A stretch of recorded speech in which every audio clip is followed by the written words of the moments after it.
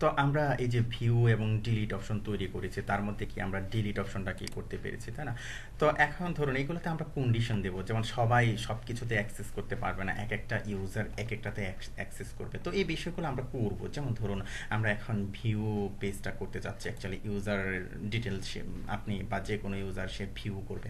যেমন একজন ইউজার আসলো, অন্যান্য ইউজারদের বায়োডাটা সে কী করল ভিজিট করল ভিউ করল। তো এখানে আমরা এই যে ভিউ ইউজার ডট পিএইচপি কিন্তু বানিয়ে নিয়েছিলাম, তাই না?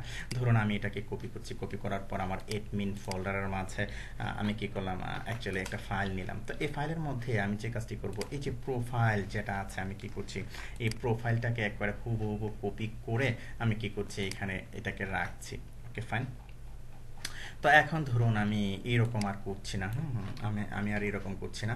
তারপরে ধরুন এখানে যে আমাদের যে আপডেট অপশনটা ছিল, আমার আর কি অ্যাকচুয়ালি আপডেট অপশনটা আর দরকার নেই এখানে, তাই না? আমরা এখানে অন্য কাজ করব। তো এখানে যে কাজটি আপনাকে করতে হবে, যেমন ধরুন আমরা সাধারণত যে কাজটি করি, এই যে যখন এডিট করি, তাই না? যেমন এডিট কেটে আমরা এরকম ধরি, তাই না?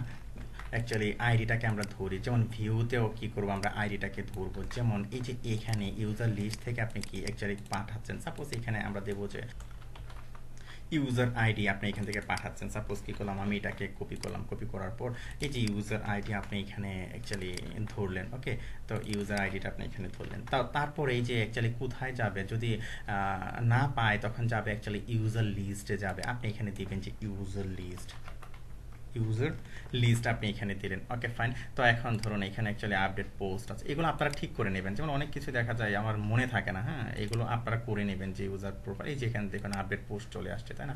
এখানে অ্যাকচুয়ালি দেবেন যে আপনি প্রোফাইল ওকে অথবা আপডেট প্রোফাইল জাস্ট আপনি এরকম দিয়ে নিলেন। Update profile.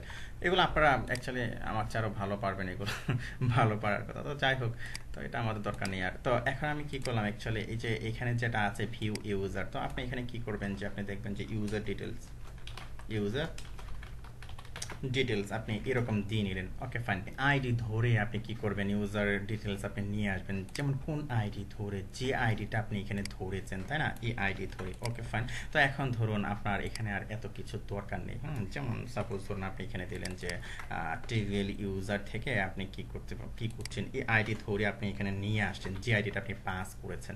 তারপরে এখানে যেগুলো আছে যেমন মাল্টিপার্ট যেরকম আমরা অ্যাকচুয়ালি ফাইল আপলোডের জন্য ব্যবহার করি। দেওয়ার দরকার নেই।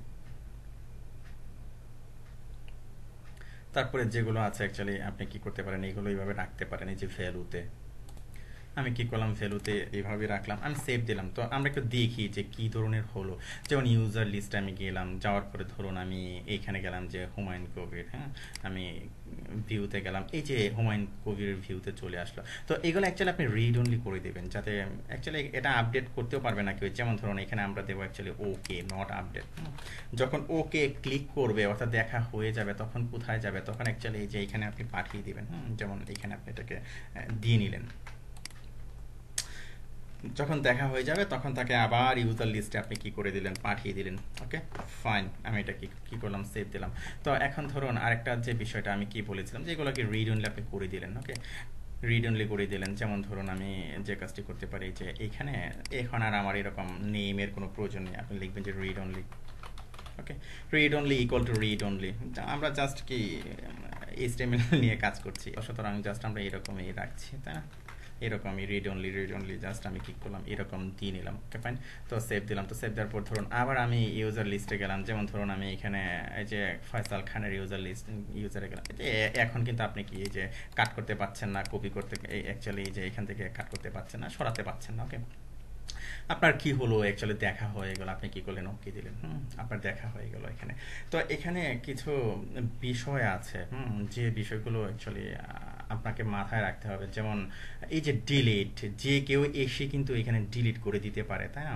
তারপরে, এই যে অ্যাকচুয়ালি এখানে যেটা আছে অ্যাড ইউজার হ্যাঁ? যে কেউই এসে কিন্তু অ্যাকচুয়ালি ইউজার অ্যাড করা শুরু করে দেবে। যদি এরকম হয়, তাহলে কিন্তু বিষয়টা মানে অন্যরকম হয়ে যায়, তাই না? তারপরে ধরুন এই যে পোস্টের জন্য এরকম যে কেউ এসে কি করবে? অ্যাকচুয়ালি এই যে এডিট ডিলিট করা শুরু করে দেবে। তো আমরা এই বিষয়গুলো পরবর্তী পর্বে দেখব যে বিভিন্ন ইউজারের জন্য আপনি কি করবেন, বিভিন্ন রোল আপনি অ্যাসাইন করে দেবেন। তো ওকে ফাইন ধন্যবাদ।